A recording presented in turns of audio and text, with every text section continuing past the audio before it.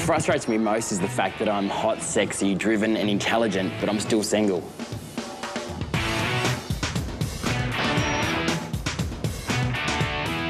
My friends would describe me as always being late, but still reliable, extremely untidy, and having more friends than a sick billionaire. When I look in a mirror, I see someone who needs a shower. My worst habit would definitely be saying inappropriate things at inappropriate times.